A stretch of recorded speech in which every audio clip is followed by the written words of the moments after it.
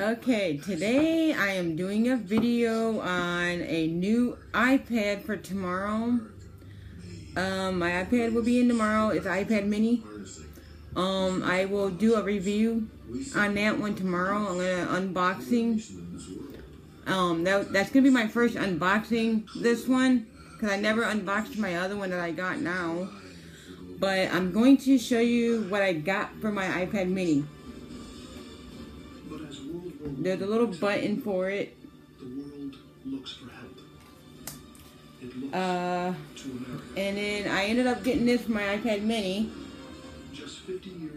And as of right now, I'm doing my video on my iPad Air 2. So, but that's for the iPad mini. Um, and then I ended up getting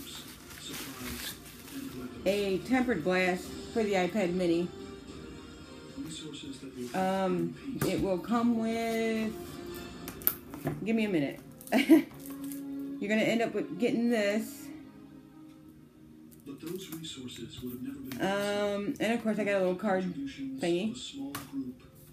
And then this here is the tempered glass screen protector America was for the iPad mini. So, like I said, I'm gonna try and do an unboxing tomorrow on my iPad mini. I hope I can um, be up to do it because I'm always a night owl, as you can see. Um, but far as that, but yes, I'm gonna do an unboxing. I want to do an unboxing for the first time, so yeah.